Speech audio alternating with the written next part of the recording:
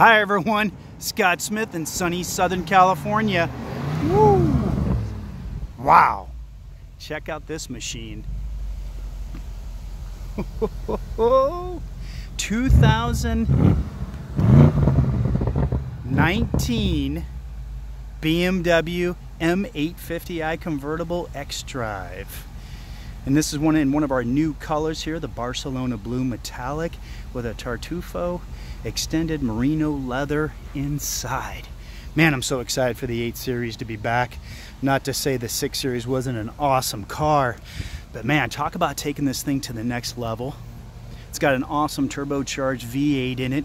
Now it's 191 inches long, 75 inches wide, and only 53 inches tall. Check out that windshield. Look at that angle.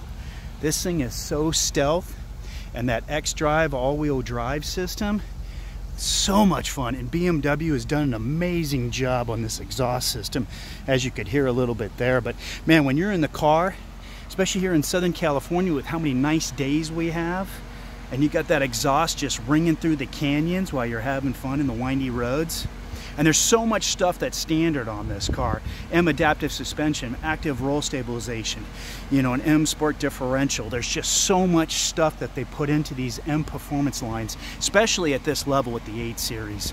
This is a whole nother beast than, than what it was back in the 90s. Check, check out the adaptive uh, LED headlights we've got standard.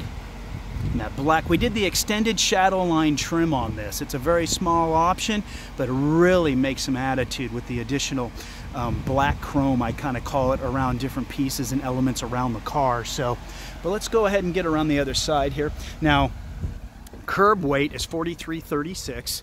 Um, rear track's about an inch wider than the front.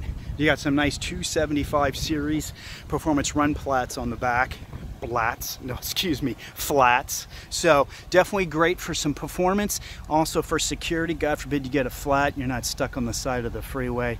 Um, you can go 50 miles at 50 miles per hour. Um, to get it to get it replaced. Um, now the wheels we've got here, we've got some 20 inch by 8 up front, 20 inch by 9 in the back. This is the jet black M wheels here, style 728M. But let's get to the back of the car so Lauren can have some fun with this exhaust. Go for it, Lauren.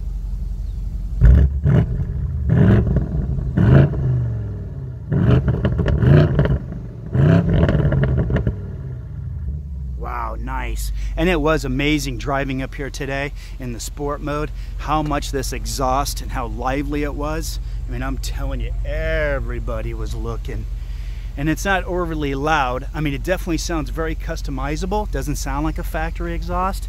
Check out those rear lights. Hey, Lauren, can you hit the brakes? Cool. Check out those LEDs. Let's step back a little bit. Man, okay. Let's go look at the power plant. You ready, Lauren? Let's check out the monster underneath the hood.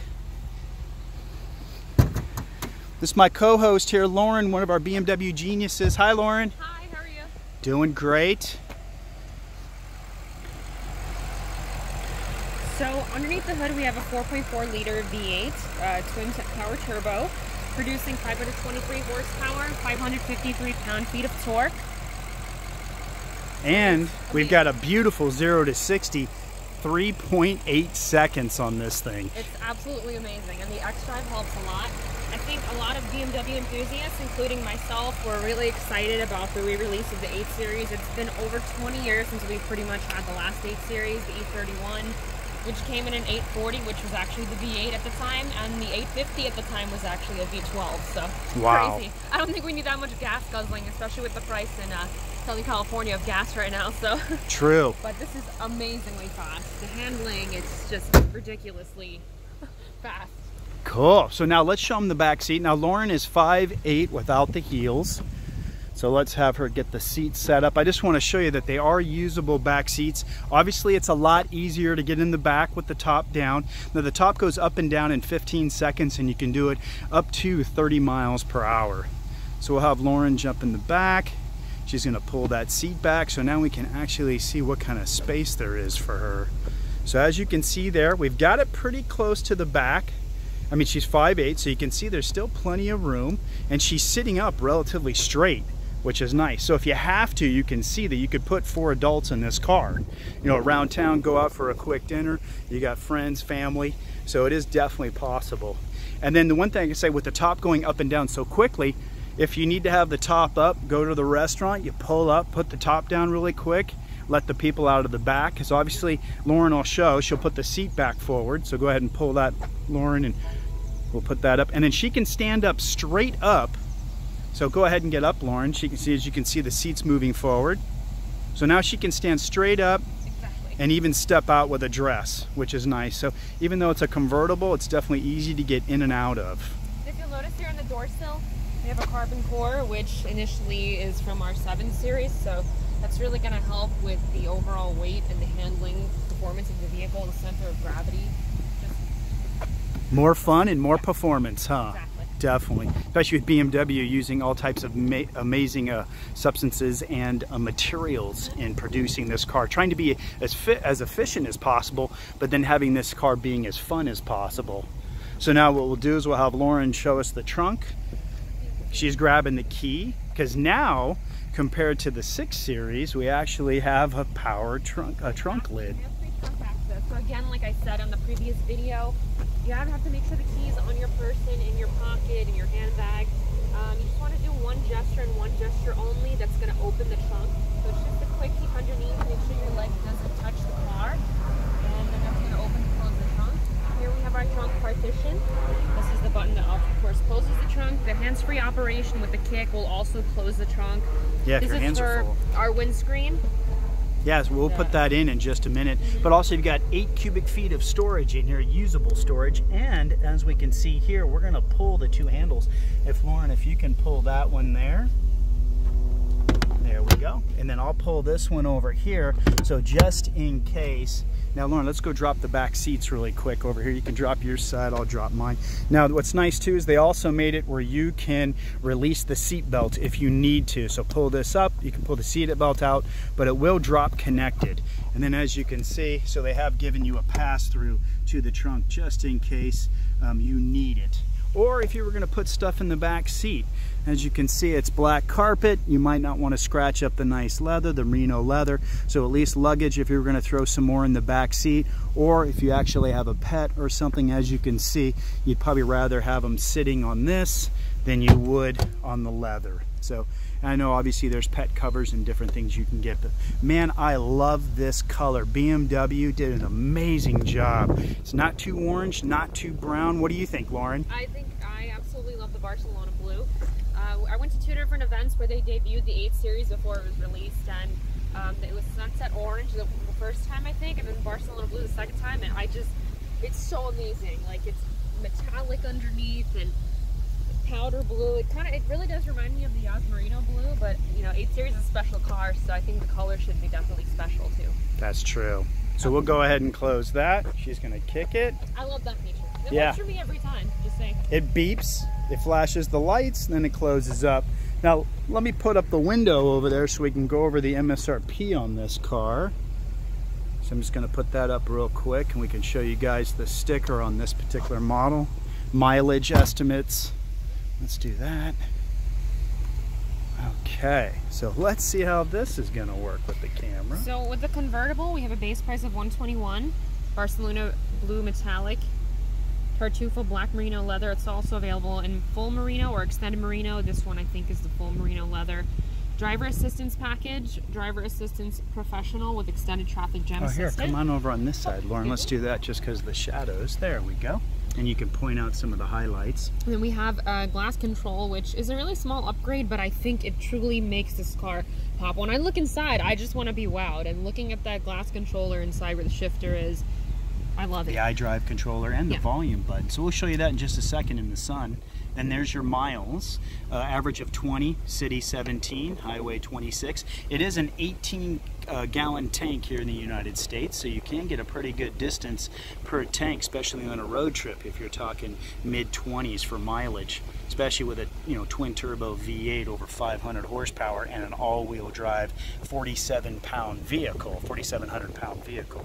So yeah, just wanted to give you a quick look of everything that's on this car so you could see you know additional options. And I tell you one thing, go to BMWUSA.com. You can custom build this car, and and when you get to the final summary page, just hit on the standard equipment.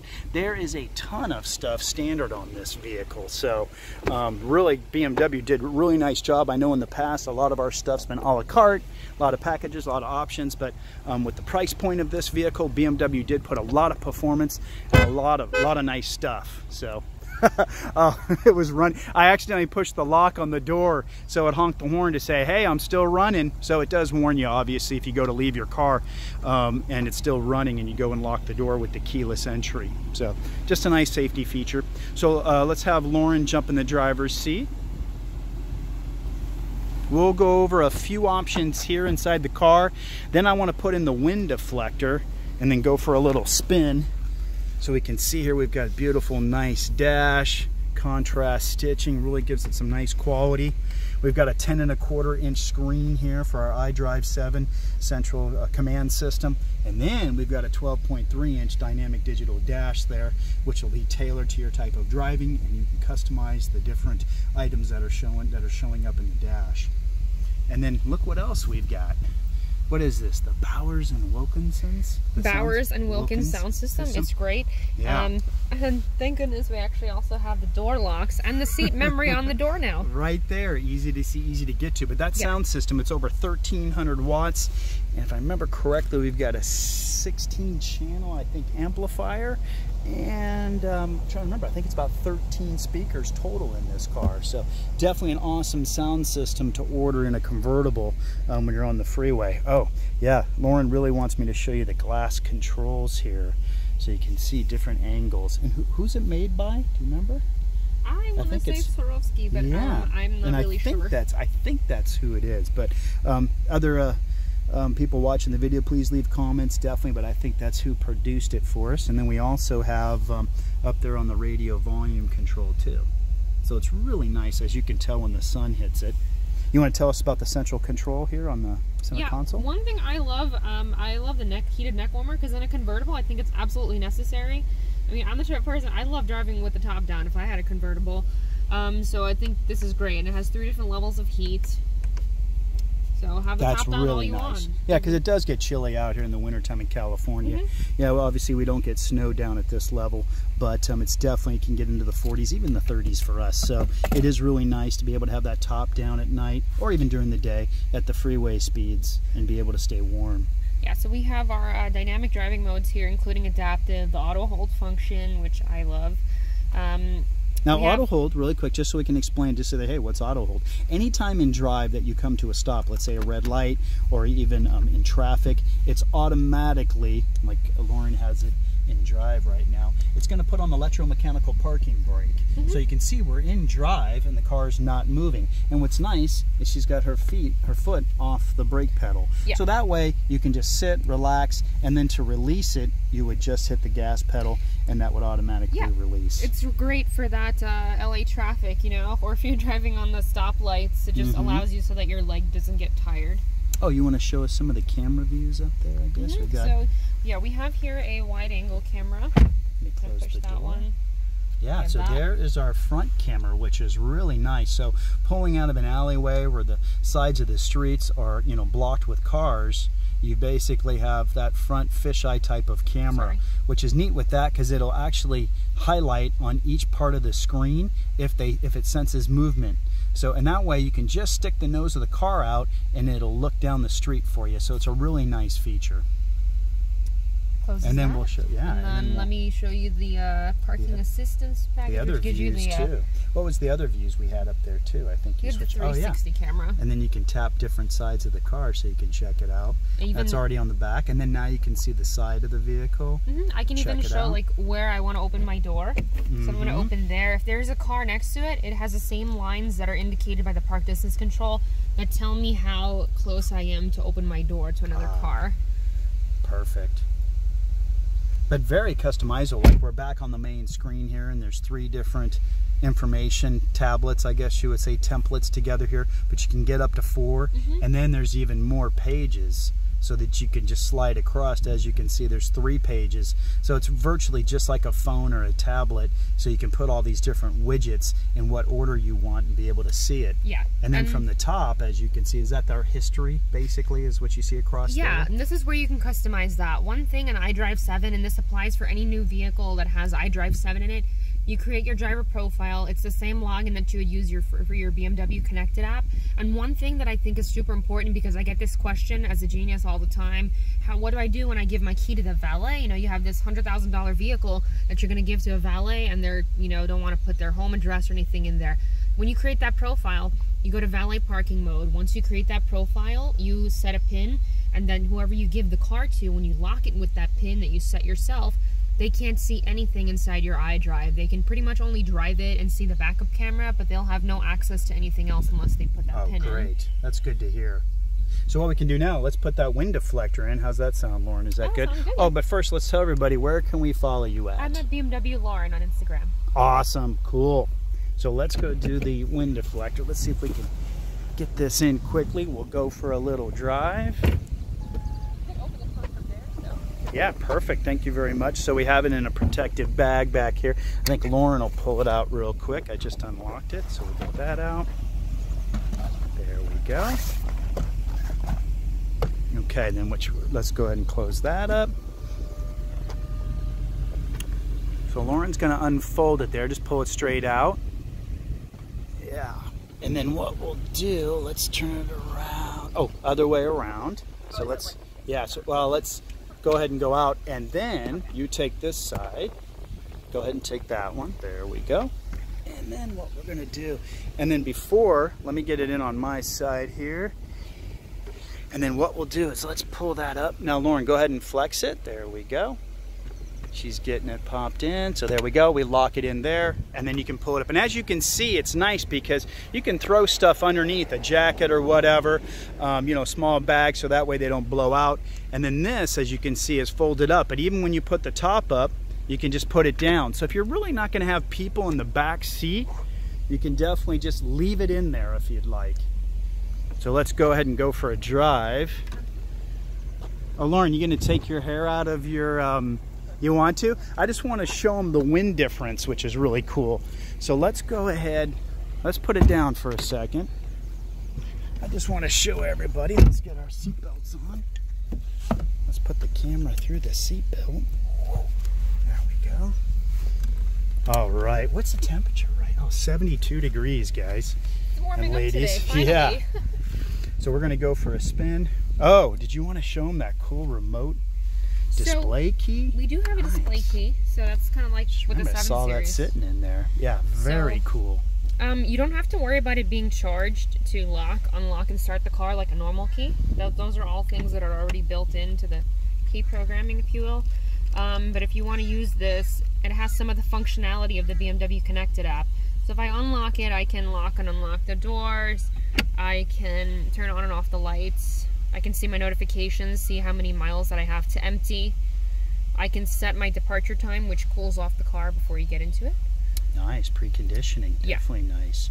And then what about this one? I know I've got a lot of clients that like this one. So this is the BMW digital, I want to say digital key, I call it the credit card key. Mm -hmm. So you're mm-hmm. basically keeping this inside your wallet. It activates inside here, should inside be activated already. So this is designed that if you have no key on you, um, or you want to give this to somebody, when it's activated, you tap it on the outside of the driver's door handle. It only unlocks the driver's door. And if you want to start up the car, you lay it inside the pad for the wireless charging, which is also an RFID reader, which that's what's built into the card. Wait about five seconds and then start up the car as normal. Oh, great. So that way, if you're out for the night, like you said, a lady with a nice little hutch or something, they want to carry the, the larger, heavier key, yeah. you can have that, or a gentleman can just have that in his wallet, and that way you're not carrying it. And then, all like she said, you, you know, tap it to the door, then put it into the uh, the reader down here and then you can start it up. So it's something you, you could use every day, but it's a little bit more of a procedure to get into the vehicle. So at least this way, if you're going out for the night and you didn't want to carry the key fob, you definitely do have that option. Cool. So we are ready? You putting it in the sport mode? Yeah, I'm totally ready. All right, let's go. All right.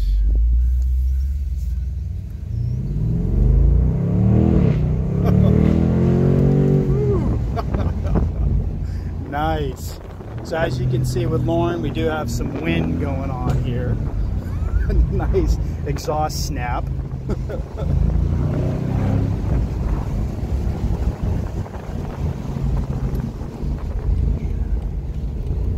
All right. Yeah. Throwing the camera around everywhere. Yeah, it's so very, very fun. We're just gonna get out here on the main road real quick and show you the difference here. But yeah, the exhaust is phenomenal, the power, especially in that sport mode. Now the sport button is going to wake up your throttle response, so it's gonna be a lot more responsive. Look at the trees. And then um, steering's gonna tighten up, um, shift points, engine software. So you do have Sport and Sport Plus. Sport Plus is just at another higher level and it will um, adjust the stability a little bit more play so that way you can have a little bit more fun even though it's an all-wheel drive. So, And one thing that's really neat about our all-wheel drive system too is that it will put up to the most, up to 100% of the available power to the front two wheels, which is pretty amazing with our X-Drive all-wheel drive. Very so what nice. we'll do here is I'm going to put up that wind deflector for Lauren. And Lauren, if you want to put the windows up, let's put up all four windows. Let's do that. And let's put up the rears. And you do have that one single button to do all four as an option. So now we're going to go ahead, go ahead Lauren and jump out on the boulevard here. This way we can get up to speed. I think it's around 50, 55 out here.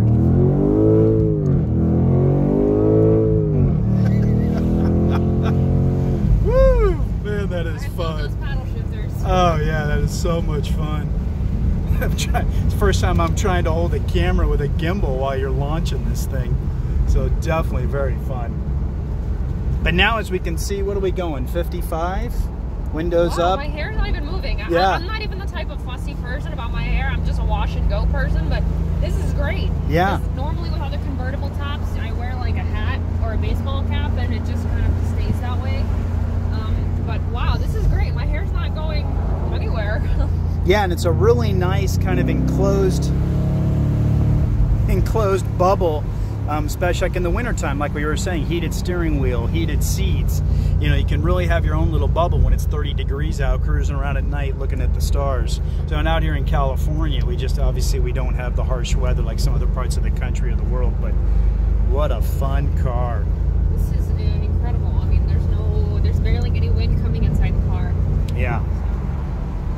If any of you guys have an E E31 8 Series, please let us know what you think because I was so worried that after 20 years that BMW would not retain its originality with the original 8 Series because the, the original 8 Series was amazing. Um, but actually, if you mesh the two cars together, you'll see that 8 Series was a driver's car. This is very much a driver's car. You put the two together, and a lot of the features and the placement of things have stayed the same, which I absolutely love because if you're a BMW enthusiast like me, that's the kind of things that you really want to see inside the car. That is true. absolute driving pleasure. I love the hidden headlights of the first generation 8 Series. I thought that was an amazing car, such a sharp front end. But hey, thanks everybody for watching. and um, hey, if you like the video, please share it on your other media sources. And we will see you later. Say bye-bye, Lauren. Bye. See ya.